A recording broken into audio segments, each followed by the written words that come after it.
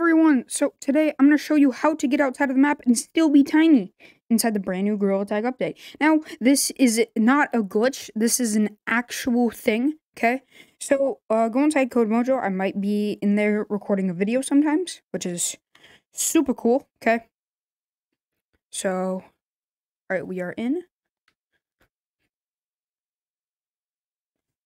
And then, so you need to go over here into the basement. Okay. So, what you need to do is inside the maze, you need to go exactly right here inside the maze, which is right where the thing is, and then you drop into the chamber thing. All right. So, I am going to set the camera down right here, and uh, I'll skip to when um, I'll get over there.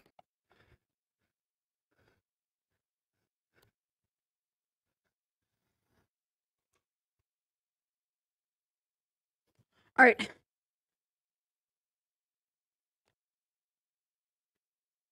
All right. So you need to be right here. And then you see the entity? Okay? Then I'm in. See? So I just fell through the ground. And now I'm inside the cage. And then there's a hole down here, okay? So the monsters are right above me right now. So you just fall down here.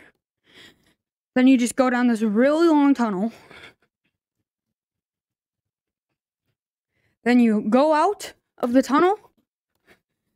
Then you're out tiny. Look at this.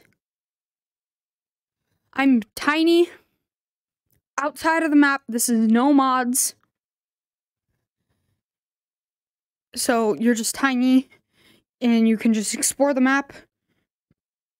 So, yeah, and also, uh, I think uh, when you go outside of here, you turn back big. So, yeah. Thank you guys for watching. Use this good for use. You can always use this. And make sure to remember that spot.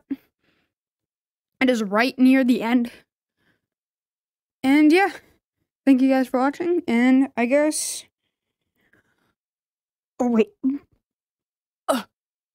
I don't know if. Bye.